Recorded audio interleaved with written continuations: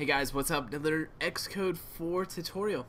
And uh, we actually got a comment in, and somebody was like, how do I embed a table view within a tab bar application? And that's what I want to go through. You see on the screen, we've got a simple tab bar set up with the template. And then basically I've just embedded a table view inside of it. And so this is something that you can easily do. You can organize different data, all this different stuff within a tab bar application. And so uh, that's what we're going to be showing you today. So we're going to go ahead and launch a new project. And once you get to the new project, choose the template for the tab bar application because that'll give us the framework for what we're doing. And you can enable this, you can name it whatever you'd like, but I'm just going to name it tab bar table. And uh, it's going to be specific to the iPhone and we're going to create it wherever you'd like. So you can save the document or the project wherever you like. And the first thing we're going to do is go to the main storyboard. And as you can see, if you zoom out a little bit, we've got a basic tab bar template that's built for us already. So we've got a first view and we've got a second view already set up. And as the simulator showed, we're going to basically be inserting this table view in our second view controller. So we're going to actually click the second view and we're going to delete it out of there. Then what we're going to do is go over to our utilities bar that's off to the right. And as you can see up to the top right, you can show or hide this.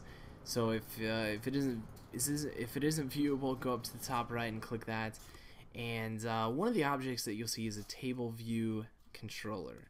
And so we're going to click and drag that into our storyboard formation here and drop it onto the screen. Now as you can see it doesn't self hook itself up to the tab bar and uh, if we zoom in you'll see we only we only have one tab bar that you can click the moment.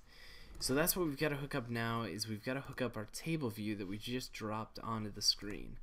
So if we either click um, the tab bar over here, hold control, click and drag over to the table view and drop, you'll see we've get uh, we're prompted with view options where we can click the relationship, so on and so forth. Or the other thing that we can do is if you zoom in here, you'll see we also have a tab bar controller that we can click, uh, we can hold control, click and drag over again and it'll prompt us with the same options. So a few different ways that you can do it. Um, but once you get prompted, you're going to want to click the relationship view controller because the relationship view controller segue is the same that uh, the first view controller set up as. So that's going to give us uh, the same look and feel as the first. Now one thing that we're going to do just uh, if you're unfamiliar with the tab bar view controller is we're just going to click this item down here. We're going to give it a new name, and we're just going to call this table view. And uh, we're also going to give it an uh, the image as second.png, which should come in your template files there. So you should be good to go. Now that's kind of the basics. Um, click run on that. Now once that loads, just jump over to the table view, make sure it looks like a basic table and uh, you should be good as far as uh, if you don't have any errors, you're good to go. All right, uh, we'll catch you guys later. Be good.